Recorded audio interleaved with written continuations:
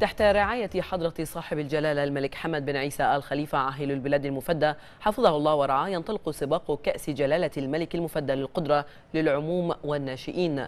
لمسافة 120 كيلو مترا برعاية مجموعة GFH المالية وذلك بقرية البحرين الدولية للقدرة وسط مشاركة نخبة من فرسان مملكة البحرين ودولة الإمارات العربية المتحدة.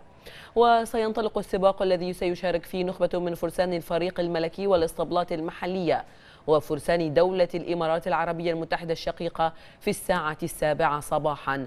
وكان الفحص البيطري للسباق قد أجري وسط إجراءات منظمة من قبل الاتحاد الملكي للفروسية وسباقات القدرة بحضور سمو الشيخ ناصر بن حمد آل خليفة ممثل جلالة الملك للأعمال الخيرية وشؤون الشباب رئيس المجلس الأعلى للشباب والرياضة رئيس اللجنة الأولمبية البحرينية الرئيس الفخري للاتحاد الملكي للفروسية وسباقات القدرة.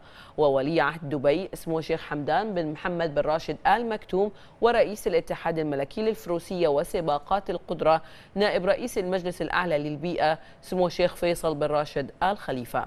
وقد قاد سمو الشيخ ناصر بن حمد آل خليفة وأنجى له جولة تدريبية لمسافة ثلاث كيلومترات في إطار النشاطات والفعاليات المختلفة لكأس جلالة الملك. وشهد سموه الفحص البيطري والتقى بعدد من الفرسان وحثهم على تحقيق النتائج المتميزة في السباق والظفر بالمراكز الأول في سباق كأس جلالة الملك للقدرة معتبرا أن مراحل السباق فرصة حقيقية أمام فرسان الفريق الملكي وفرسان الإسطبلات المحلية لتأكيد تطورهم وقوة منافستهم في هذا الموسم.